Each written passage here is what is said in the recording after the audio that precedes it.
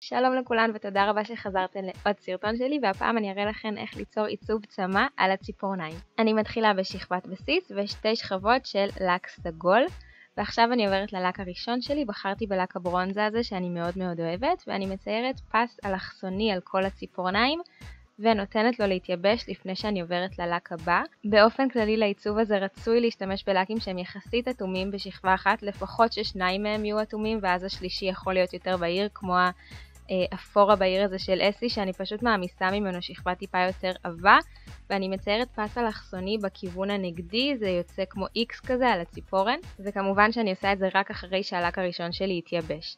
עכשיו אני הולכת אה, ללק הסגול שהשתמשתי בו כבסיס ושוב מציירת פס אלכסוני בכיוון של הפס הברונזה הראשון. כלומר אני עושה סוג של צמא על הציפורן. פעם אני מביאה את הפס האלכסוני מימין ופעם משמאל ואני כל פעם מחליפה צבע לפי הסדר התחלתי כבסיס עם הסגול, עברתי לברונזה, לאפור הבהיר הזה, אחר כך שוב לסגול, לברונזה, לאפור וכן הלאה עד שהציפורן כולה מלאה ונראית בעצם כמו עיצוב של צמא כזה. על האורך של הציפורניים שלי זה יצא משהו כמו שלושה פסים אלכסונים כאלה מכל צד של הציפורן.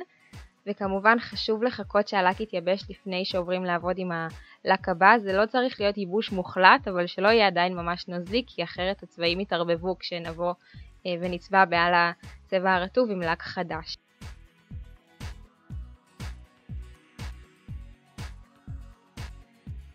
אחרי שסיימתי וכל הצמה שלי מוכנה, אני עוברת לשלב הסופי שזה מריחת הטופ המבריק שלי. כל הפרטים לגבי איפה אני קונה את הטופ ובכלל לגבי כל המוצרים שהשתמשתי בהם בסרטון מופיעים תמיד למטה בתיבת המידע. אני מקווה מאוד שנהנתן מהעיצוב הזה, הוא קצת לוקח זמן אבל הוא לא מאוד מסובך והוא לא דורש כלים מיוחדים, שזה יתרון למי שככה עדיין חדשה בעולם הזה של ה nail art. אתן מוזמנות כמובן להירשם לערוץ לעוד סרטונים חדשים, לעקוב אחריי באינסטגרם ובפייסבוק, ואנחנו ניפגש בסרטון הבא. ביי!